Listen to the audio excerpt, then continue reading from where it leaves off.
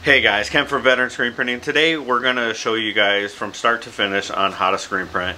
From coating your screens to burning your screens to washing it out to setting up the job, printing it, and then also how to um, reclaim your screen all in one video. So stay tuned. After the intro, we're going to get into this.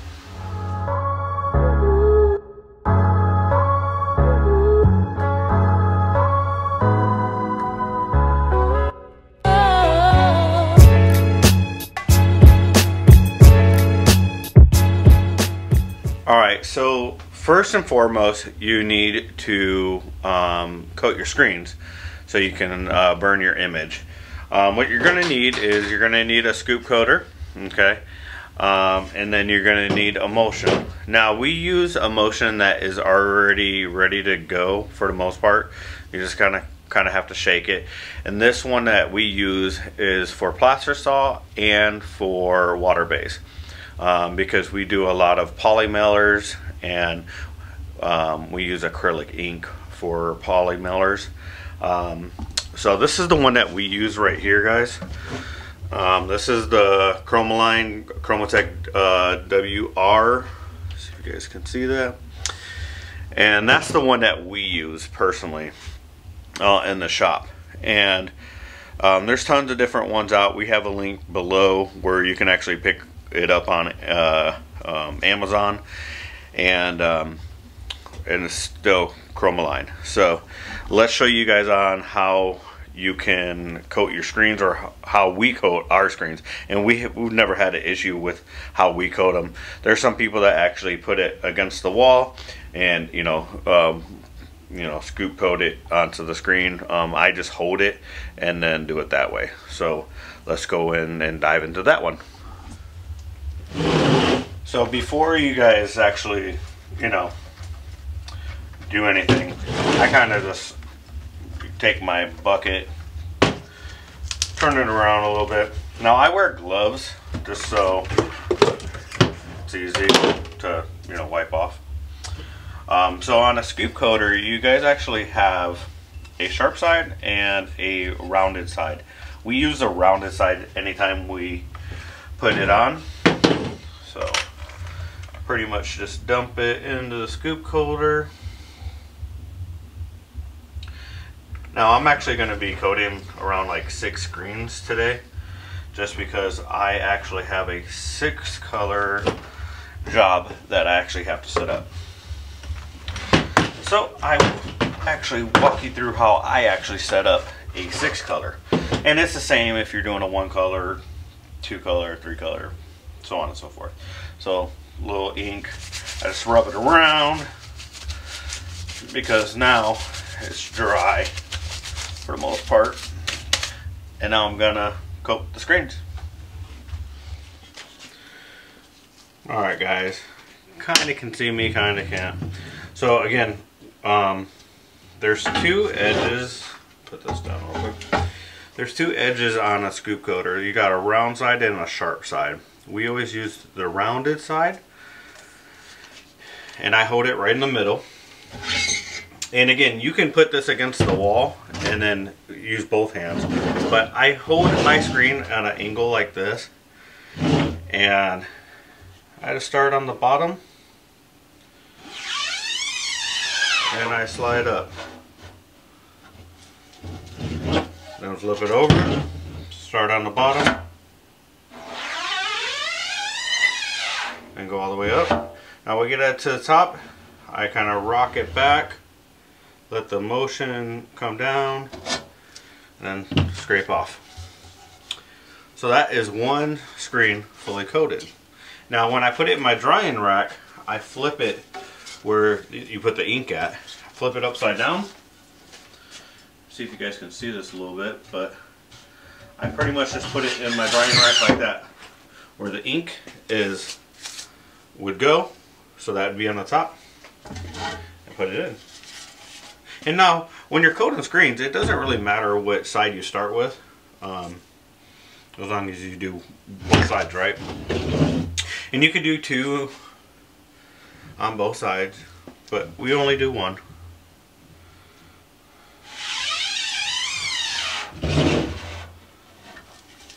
So just putting it through.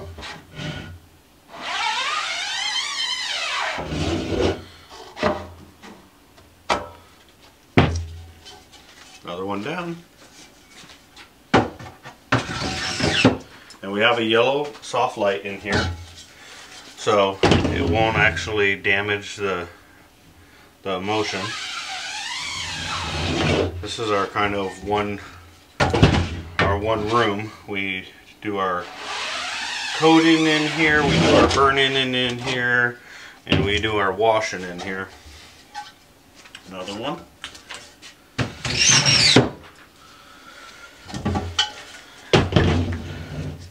Kind of been going through screens like crazy the last couple days. We uh, this job has a six color front, six color back. And I also, next job I have a five color front, five color back. And then, uh, of course, we have about a thousand poly mailers to print for customers. And actually, the customer found us from YouTube, so appreciate that.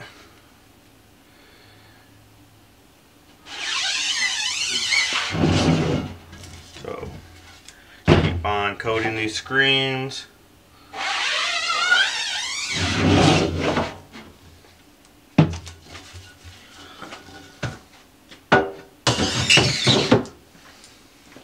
Last one.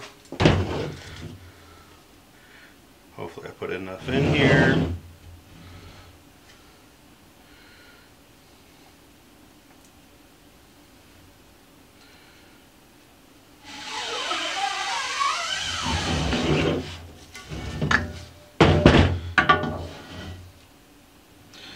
Reason why I like doing it to the side like this is I can see as soon as the the emulsion is actually, you know, uh, hit the screen, there's kind of like a little glare on it. And I can tell when the, the emulsion's already been in there. So, once I have that, um, once I have the screens in here, I just turn on my little heat gun Put that in there. I close my drying booth with a tarp and uh, we just let it um, sit there and dry. Um, this drying booth can fit up to seven, sometimes eight screens depending on how I want to set it up but this is a little DIY my cousin made for us and it works perfect. Now, you're to probably ask, what do you do with this? I do have a little bit of emulsion left in here. So you want to take your little bit of emulsion you have, right? Put it back in your bucket. Scoop it out. That's why I wear gloves. So I can just use my finger and just scoop all of it out. Right back into the bucket.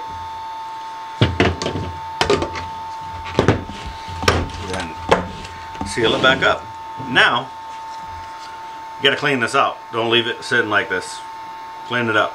So take it to the wash booth. And that's what we're gonna do now. So follow us over there. So, at the wash off booth, I just take it, put it in the sink. And I don't turn on my pressure washer. I just let the water uh, run through it without the pressure washer being on. And I just spray it down to the point where it's actually clean. There's no uh, emulsion.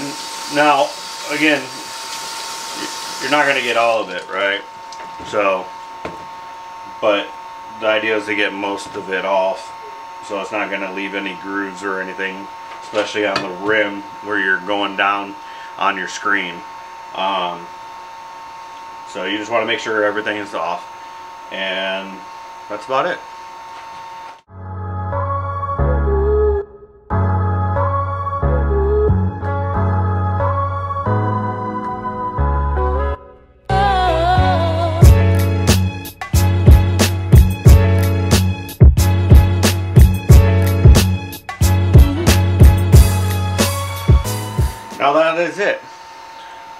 Sit here and I let it, you know, uh, dry pretty much. We're waiting for the screens to dry. So we'll check back in when they're dry and we will burn the images for this. And I'll show you how to do that and then we'll wash them out and show you how to do that next. Alright guys, so we pretty much, the screens are dry. Again, we're burning a six color job. Um, and this is just a video to show you from start to finish, but we're going to show you, you know, us burning six colors and then setting it up and, and printing. And again, this works with one color, two color, three color, on and so forth. Um, what I like to do is when I grab all my film, since I keep most of my film in stock, if it's you know, for a customer that orders this design repeatedly or um, if it's for my own clothing brand. Again, this is for my own clothing brand, but I like to, when I grab the film, I like to verify with my registration marks on the film and line them all up because what if I printed an extra one one time or um, one was messed up and I printed another one, uh, a whole another set of, you know, six, you know, films and I grab the wrong one and um, it won't line up when I get on press. So, you know, before I even come in here, I just verify with my registration marks. I line up the registration marks with the film and make sure they line up properly. Um, that's a good rule of thumb in case uh, you grab the wrong film, right? Um, so let's get this over here and start burning screens. Now, with burning screens, it, it varies from everybody, okay? um, how hot it is, the humidity, your distance from your light. Um, again, this is our DIY um, exposure unit, 2x4s and a black light. The black light we have on in the description below where you can buy this. And um, we also have another video show you how you get your perfect burn time. Um, right now, our perfect burn time is about 27, se uh, 27 seconds. And um, it works perfectly for everything that we've ever burnt now. And um, and then when we burn it, we'll take you over to the washout booth and show you on how we wash it out.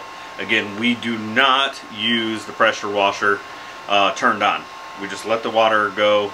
And if you're doing half tones, we actually take off the nozzle that makes it spray a little bit harder and just let the water run down it and, and soak that emulsion up. And let the emulsion uh, kind of just rinse away because you don't want I, I don't want too much pressure and blow out my my half tones. Um, this design don't have half tones so I can't show you that but maybe on a different video we'll show you when we go to wash out half tones that we really don't actually turn on the pressure washer. We don't even really like to have the nozzle on to make it um, a really hard type of impact on the screen. So let's grab the screen to start burning. Now when I do my screens, um, I set it up. I grab my T-square, okay? Now I know all my registration marks are going to be the same. And what I'm going to do is I'm going to set my cross uh, registration at the very top at 21 inches, which is actually 3 inches down from the T-square. So I know that on every single um, of my other screens, if I line up the top registration at 21 inches or 3 inches, um, it will be um, universal on all my screens. Okay, so now I got both of my registrations lined up. It's perfectly straight. I'm happy with that. From there, I grab a non-UV um, piece of glass that got from Home Depot. They're about 10 bucks. I lay it down and then I turn on my exposure unit for 27 seconds and I grab my phone for a little timer. I turn the light on and then I start the time. Alright, so the time is done. I just turned it off. Take off the piece of glass. Take off the film set it aside. Now let's take you over to the washout booth and show you how we wash it out. Alright, set that up in my washout booth. Turn on the water. And I do have the nozzle on. but I don't have the pressure washer actually turned on. So now we can just sit here and actually wash it out.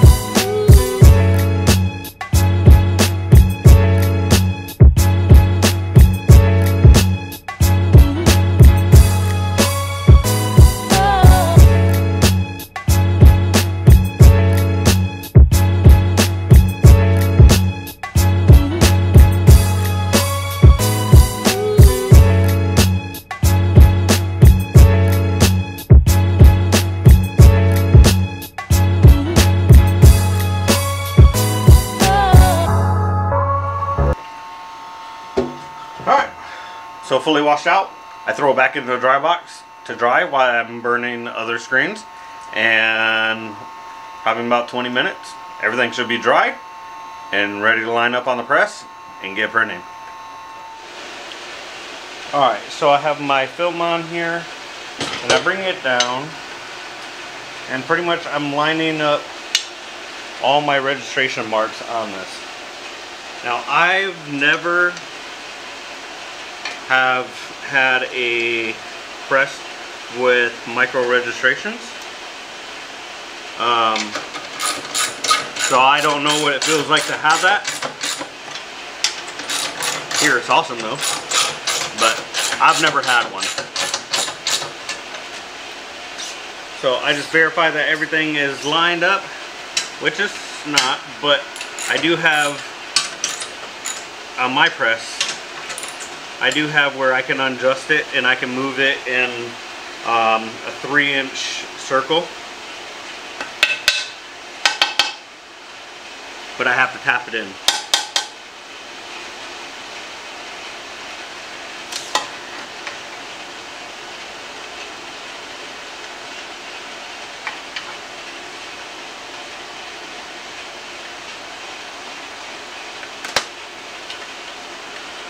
So I could pretty much over um, tap it or, you know. So once I feel like it is good, I grab the next screen.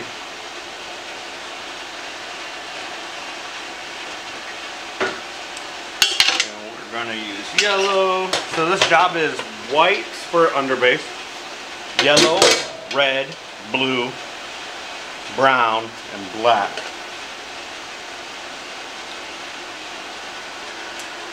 So, quite a bit of colors, but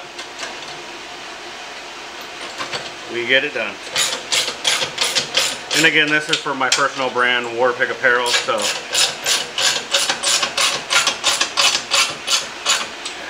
I was running a little bit low on this design, so I'm only printing about 12 of them up, and you might kind of uh, say why you only printing 12. Well, I only need 12 right now. I would normally print about 48, but for this video, we're gonna print about 12. So you just go through and pretty much line them all these. So we'll speed through this and uh, keep setting up and uh, when we get to the next part, we'll bring you in.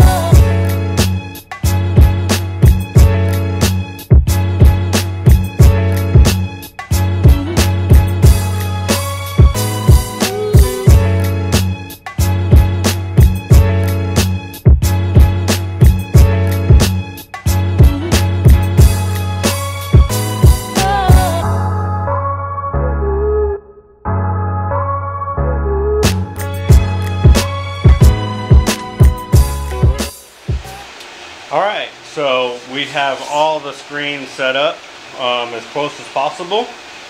Time to tape them off, and then we're gonna do our test print. Now we use uh, just regular blues painter tape. Um, reason why is I found it's very easy to get when you run low on the weekends and you can always find it at your local hardware store. So just regular blues painter's tape and uh, that's what we use. And uh, it hasn't failed us yet and we even use it for acrylic ink when uh, we're doing 100 to 300 runs of polymailer so it works very well for us. So we'll speed through this and uh, show you guys when we do our test print.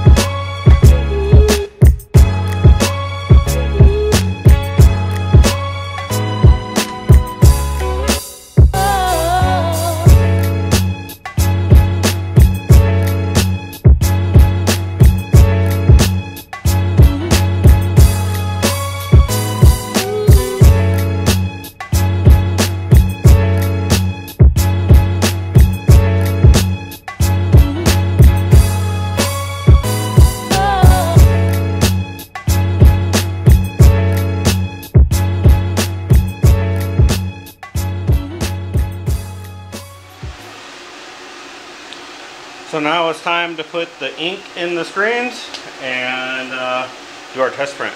So let's run through this real quick and get the ink in.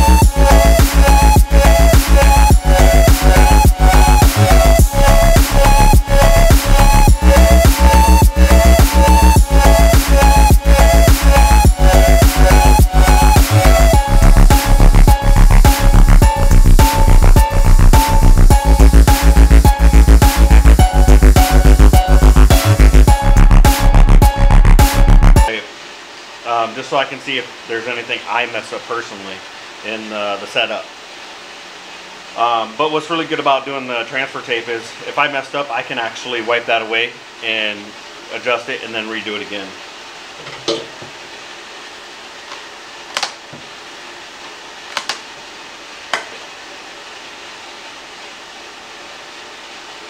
Looking good.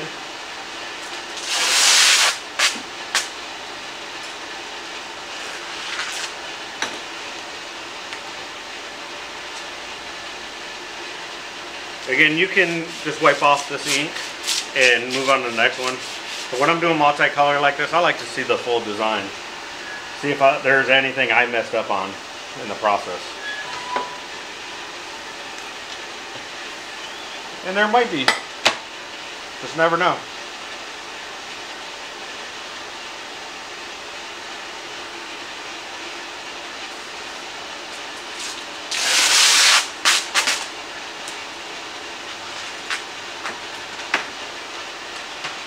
And I bought that big roll of tape long time ago. And uh, it's working so far.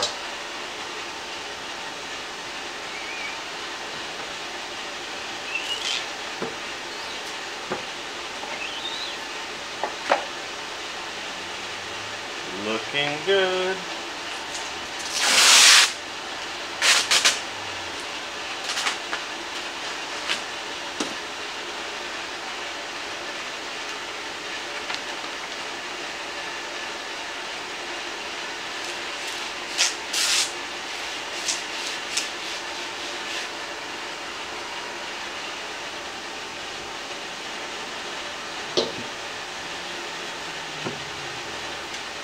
So this design is actually going on a OD military green shirt.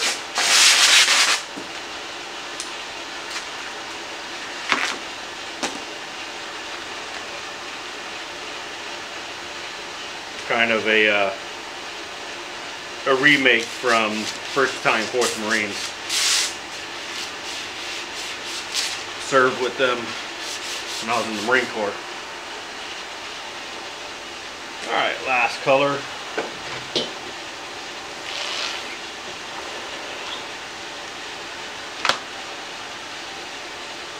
Everything came out perfect.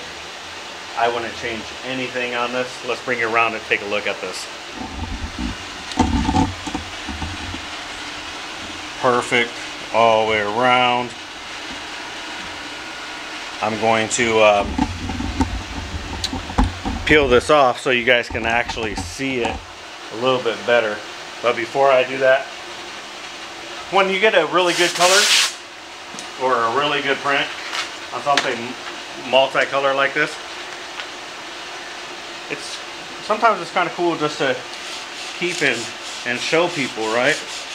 So I could put another piece of tape on that. And now I have my complete design right there. There you guys go. Take a look at that.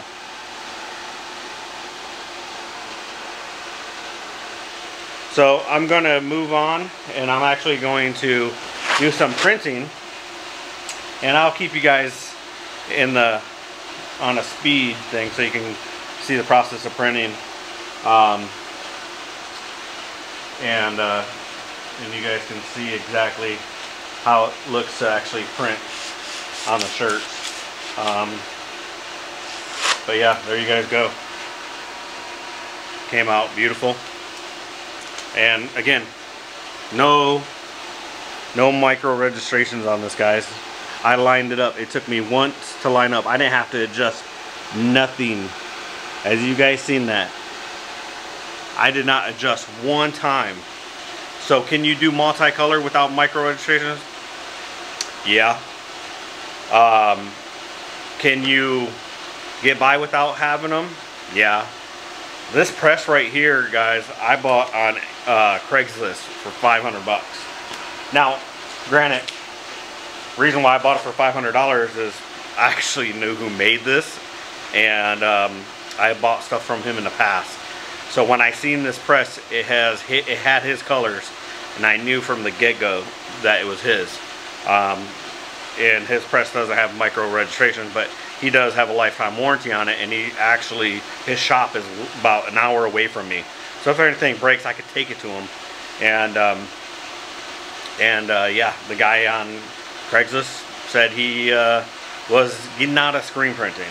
Um, so granted, guys, if you're just getting started, look on Craigslist, look on OfferUp, look on Facebook Marketplace, because I bought this press for $500 and this press right here is over a couple thousand dollars. Now it as expensive brand new from, you know, the Ryonet or Anatol or whatever, but if you have the money, then go get those, 100% get them.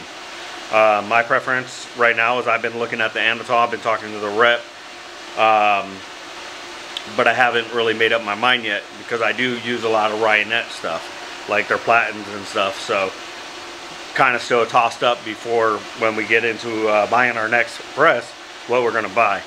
But um, if you're just starting off, you can do multicolor on a press that has no micros, as you guys have seen. First, didn't have to adjust anything, right? Just set it up, lined it, keep going. So let's uh, get some shirts on this and we'll kind of fast forward you guys through that while we're uh, printing so you guys get to see the you know, the outcomes.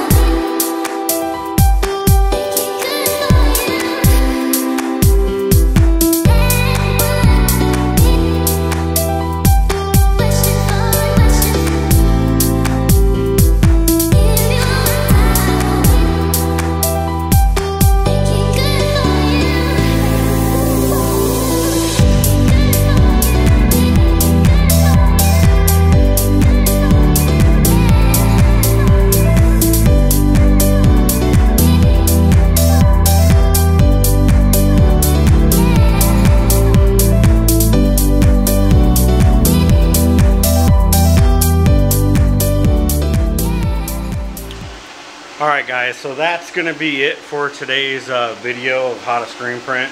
Of course when you're done, I still got some more to print, but when you're done, you clean up all that ink and uh, you would reclaim these screens if you're not going to use them again. Um, in another video we'll show you guys how to reclaim screens. Um, so, same design on the back as in the front. There you guys go.